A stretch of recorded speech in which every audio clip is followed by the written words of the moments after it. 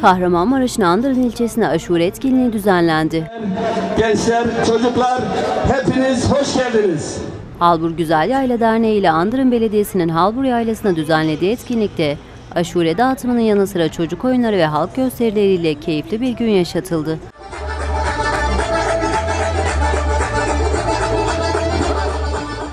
Etkinliğe AK Parti Kahramanmaraş Milletvekili Profesör Doktor Mehmet Şahin, Belediye Başkanı Ahmet Doğan, AK Parti İlçe Başkanı Abdülkadir Kayıran, yönetim ve belediye meclis üyeleri ile çok sayıda vatandaş katıldı.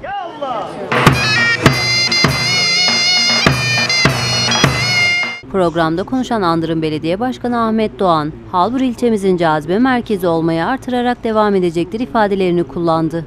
Hepinizin bildiği gibi Halbur ilçemizin ve bölgemizin havasıyla, suyuyla, ko- konumuyla e, Marta bir yayla merkezi, Marta bir mekanı.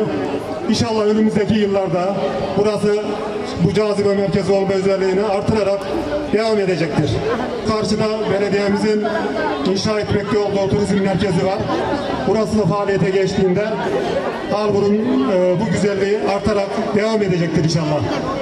Başta da söylediğim gibi Andır'ın kadirliği biz ayrı görmüyoruz.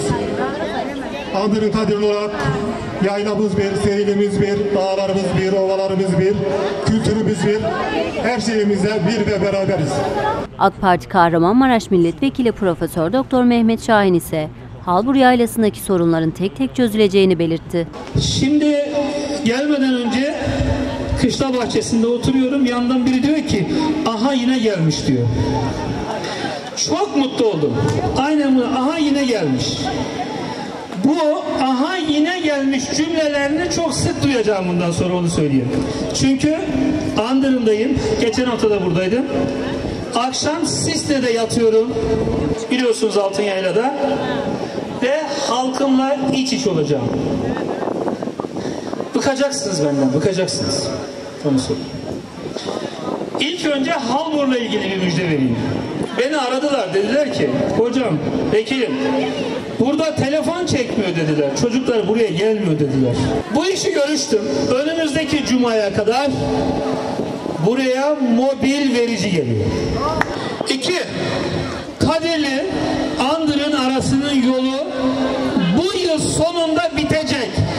Bakacağım dikkat edin. Bakacağız, edeceğiz, tutacağız, ilgileneceğim değil. Biz